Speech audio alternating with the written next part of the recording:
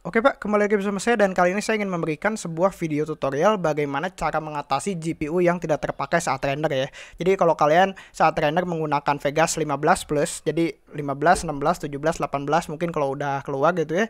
Saat kalian cek di task manager itu nggak kepake gitu untuk GPU kalian. Misalnya di sini saya menggunakan GTX 960M gitu ya contohnya.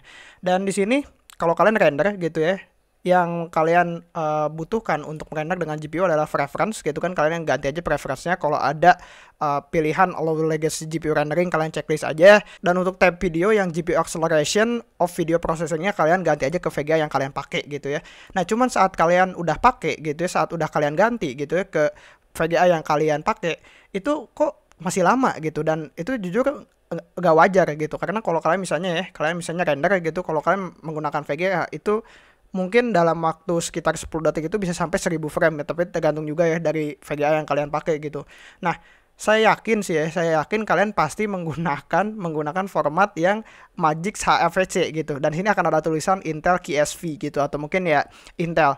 Nah, kalau kalian pakai preset yang HEVC gitu atau mungkin HEVC gitu atau mungkin AAC MP4 itu nanti bakal merender menggunakan prosesor kalian karena di sini akan ada tulisannya Intel. Mungkin kalau kalian pakai AMD uh, tulisannya beda lagi gitu.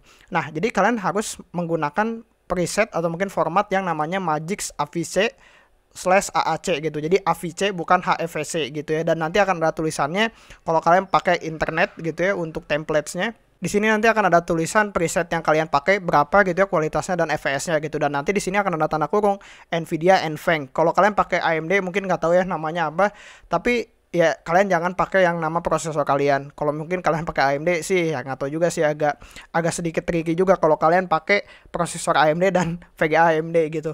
Kalian bisa cari aja gitu ya yang di sini nih. Kalian bisa cari untuk yang formatnya kayaknya yang mana aja sih. Cuman yang untuk merender dengan GPU sih kayaknya untuk merender dengan GPU hanya ada yang Magix AVC ya bukan yang lain-lain. Dan kalian pastiin aja pakai yang dalam kurung Nvidia Nvenc karena kalau pakai yang Intel HD yang 59 fps ini yang nggak ada kurung Nvidia Nvenc kayaknya nggak tahu juga sih bakal kayak gimana ya cuman saya belum coba tapi saat saya menggunakan yang Nvidia Nvenc ini menjadi lebih cepat gitu. Di sini kita akan render ya contohnya gitu.